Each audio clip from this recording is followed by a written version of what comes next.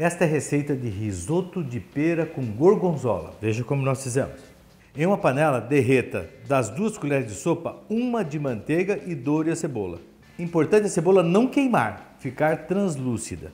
Frite por uns 4 minutos, 5 minutos, mexendo sem parar. Em seguida, entre com um arroz, frite um pouco o arroz e entre com o vinho. Quando começar a grudar o fundo, vá incorporando o caldo que você fez com cebola, aipo, alho poró e cenoura que é o mirepoix.